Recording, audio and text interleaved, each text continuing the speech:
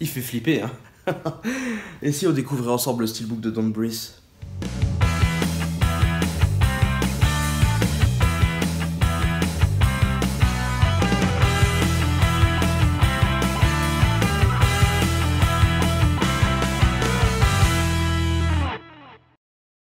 Je dois bien l'avouer, l'épouvante horreur, c'est pas trop mon trip. Et pourtant, quand quelques films se démarquent un petit peu, ou que je vois qu'ils ont de très bonnes critiques, je me laisse tenter, comme par exemple dernièrement It Follow, qui m'a énormément plu. Là, ça a été le tour de Don't Breathe. Don't Breathe, c'est un film très simple. Trois jeunes qui font quelques petits casses assez facilement, euh, des petits casses assez faciles, trouvent l'occasion de leur vie pour faire leur dernier casse, c'est-à-dire euh, une maison gardée par un homme aveugle qui aurait une petite fortune de cacher chez lui, dans un quartier en plus complètement désert. Que rêver de mieux pour des petits cambrioleurs, hein? Forcément, les choses vont pas se passer comme prévu et le monsieur est un petit peu... Euh, non, je vous en dis pas plus. On va découvrir en tout cas le steelbook tout de suite, c'est parti. Il s'agit ici d'une édition belge que j'ai décotée dans un MediaMarkt euh, lors d'un petit week-end en Belgique à Ostende. Et euh, voilà, je l'ai trouvé plutôt sympathique à hein, cette édition. Et puis j'avais jamais vu le film, donc je me suis dit allez hop, prends le steelbook. Le film est super bien coté, euh, les avis sont plutôt unanimes. Tu devrais pas perdre change.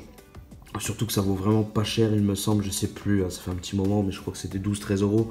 Donc, donc voilà, je l'ai pris sans hésiter et je l'ai regardé. Et une belle claque ce film. En plus, le steelbook est vraiment pas mal, comme vous pouvez le voir. Le choix du visuel en première face est euh, bien flippant, bien comme il faut. On voit tout simplement des reflets métalliques dans les yeux de notre cher euh, vieillard aveugle. Euh, des reflets métalliques également sur le titre. Pas d'embossage, pas de relief, hein, mais, mais ça fait le taf. Je dirais que la finition est mat, voire peut-être zéro finish, mais ça je ne suis pas certain. Peut-être zéro finish parce que les noirs me paraissent quand même assez profonds. On voit pas trop le métal derrière, je sais pas. Non, je tendrai pour dire simplement du mat quand même. J'en sais rien, j'en sais rien. Éclairez-moi si jamais vous, vous le savez. Euh, je serais curieux de savoir. En tout cas, euh, je trouve cette première phase très sympathique avec euh, son petit effet avec les reflets métalliques qui, qui, aide à faire ressortir un petit peu ce visuel. Sur la tranche, on retrouve le titre plutôt bien visible, pas de problème. pas centré par contre, mais ça c'est un petit détail. Quelques petits logos juste en dessous et rien au-dessus. Voilà. Et pour la face arrière, on a un très beau visuel sur la maison.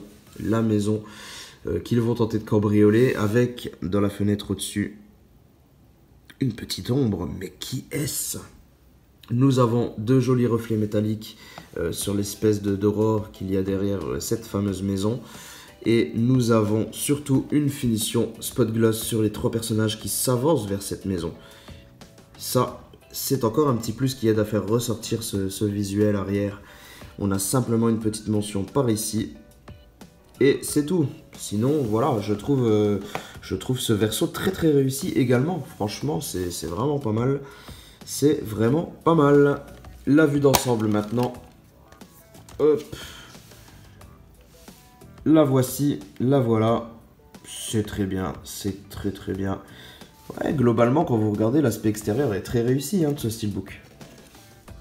Ensuite, à l'intérieur, ben tiens, j'ai carrément oublié de commencer par ça. J'avais gardé le flyer exprès pour vous faire la présentation. Alors, nous avons donc côté langage... Pardon. C'est assez sombre, donc j'ai un petit peu de mal à lire. Français, 5 points, DTS, HD, Master Audio, ainsi que l'anglais. Donc, on a tout ce qu'il faut, c'est très sympa. Nous avons une copie digitale pour celui qui la veut. La voici, la voilà. Et donc, voici la sérigraphie du disque. Plutôt sympa, hein, avec le titre bien gros et ce visuel, j'aime beaucoup. Dommage que tout le côté droit du disque soit complètement bouffé par euh, le logo tout ce qui est logo d'âge et ça c'est dommage. Mais globalement je suis plutôt satisfait quand même. Et maintenant en visuel interne, nous avons donc un très beau visuel d'ailleurs. Plutôt clair, pas de souci de ce côté. J'aime bien. Franchement j'adhère pas mal. C'est cool. Donc voilà, on a déjà fait le tour de cette édition. Et voilà, c'est déjà la fin de cette vidéo. N'hésitez pas à me mettre dans les commentaires ce que vous pensez de cette édition. On se retrouve très bientôt pour une prochaine vidéo. Portez-vous bien. Ciao